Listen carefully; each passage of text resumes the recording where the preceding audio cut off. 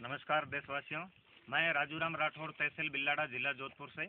आज मैं पहुँचा हूँ मेरे सामाजिक मित्रों के पास एमपी में, मध्य प्रदेश में, धार ज़िले में। जानेंगे मेरे साथ एक किसान मित्र, युवा किसान मित्र खड़े हैं और मेरे सामाजिक बंधु हैं। जब मैं इनके फार्म पर आया तो मुझे बहुत एक ऐसी चीज़ मिली जो मैं खुद कर रहा हूँ और देश में सबसे बड़ी यूनिट भी है मेरे पास जिसको कहते हैं वेस्ट स्टडी कंपोजर और आज मेरे साथ जो सामाजिक मित्र खड़े हैं उनसे उनका परिचय लेंगे।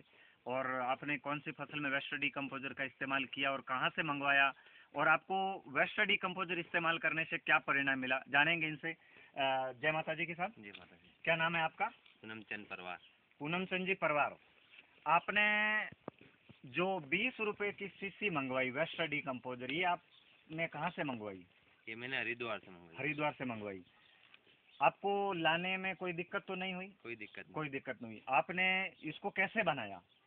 इसको मैंने पहले पचास लीटर पानी ले लिया। जी।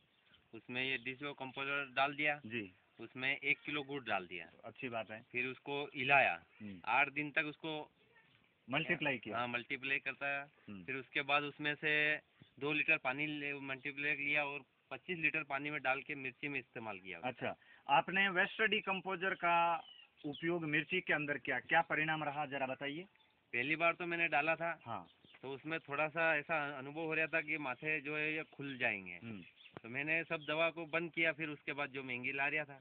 और उसके बाद इस इसी का तीन चार बार स्प्रे किया हम्म, चार आठ आठ दिन में।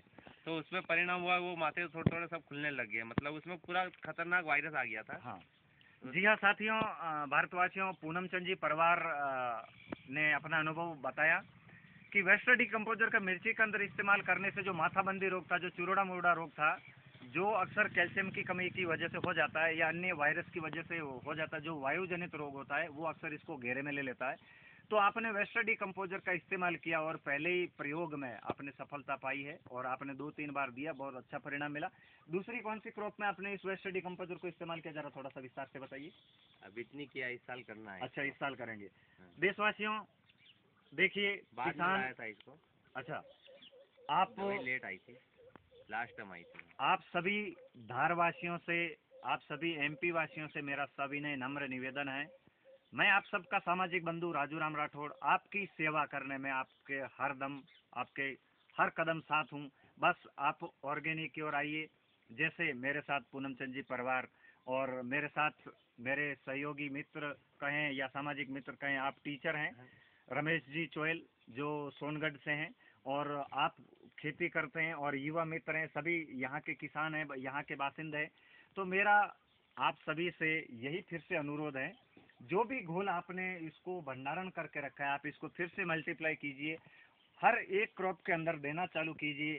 मेरा ये पूर्ण विश्वास है, आपको जो अनुभव ऑर्गेनिक और आना चाहिए, इससे डबल आएगा।